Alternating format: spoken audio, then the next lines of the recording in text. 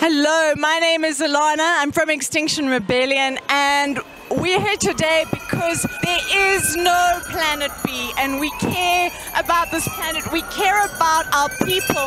We care about our children. We want to be the future ancestors. We do not want this to end here.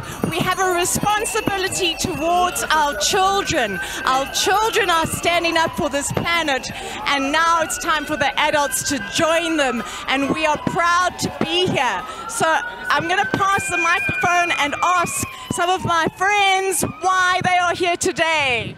My name is Simon Manyeka. Me, because of I want to protest for my grandchildren that are coming in future. I'm from Sebokeng, Vereeniging. Thanks, man. My name is Mtutuzi. I'm from Vereeniging. I'm here to protest and be uh, ke- uh, to to know about uh, pollution of planet uh, for our country. Thanks, man.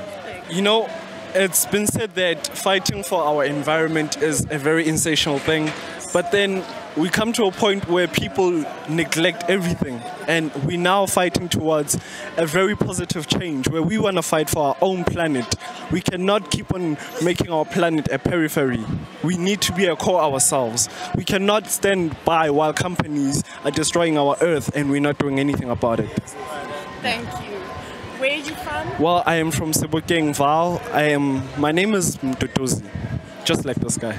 Well, it's very good to have you guys here. Thank you.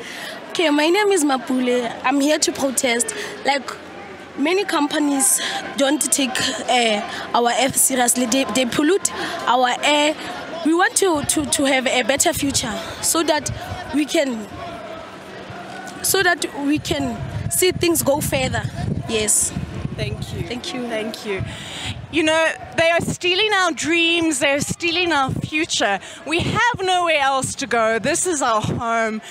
It's not acceptable that the minority 1% has the control to determine our future.